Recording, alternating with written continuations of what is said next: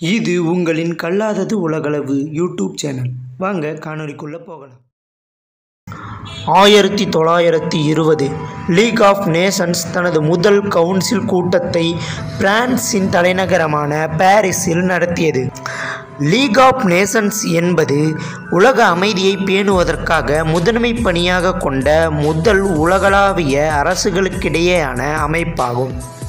இது முதல் உலகப் போரை முடிவுக்கு கொண்டு வந்த பாரிஸின் அமைதி மாநாட்டில் பத்து ஜனவரி ஆயிரத்தி தொள்ளாயிரத்தி இருபதில் நிறுவப்பட்டது.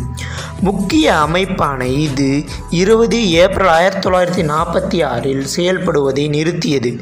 ஆனால் அதன் பல கூறுகள் புதிய ஐக்கிய நாடுகள் சபைக்கு மாற்றப்பட்டன. இவ்வாறு லீக் ஆஃப் நேஷன்ஸ் ஆரம்பிக்கப்பட்ட நாள் இன்று.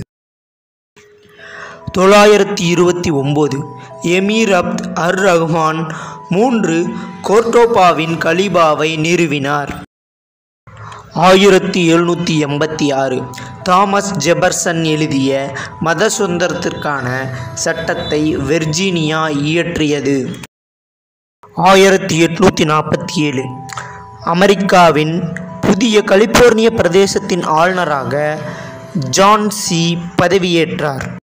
ஆயிரத்தி எட்நூற்றி எண்பத்தி மூணு. பென்டில்டன் சிவில் சட்டத்திருத்தத்தை அமெரிக்க சிவில் சேவை நிறுவியது. காங்கிரஸால் இது இயற்றப்பட்டது.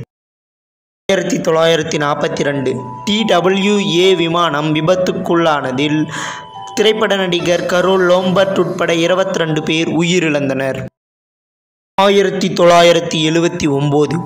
ஈரானிய புரட்சியில் கடைசி ஈரானிய ஷா தனது குடும்பத்துடன் ஈரானிலிருந்து தப்பித்து எகிப்தில் இடம்பெயர்ந்தார். ஆயிரத்தி தொள்ளாயிரத்தி எண்பத்தி மூணு துருக்கிய ஏர்லைன்ஸ் விமானம் துருக்கியின் அங்காராவில் விபத்துக்குள்ளானதில் நாற்பத்தி ஏழு பேர் உயிரிழந்தனர். ஆயிரத்தி தொள்ளாயிரத்தி தொண்ணூற்றி ஐந்து ஐஸ்லாந்தின் கிராமமான ஷோவிக்கை பனிச்சரிவு தாக்கியதில் இருபத்தி ஐந்து பேர் உயிரிழந்தனர்.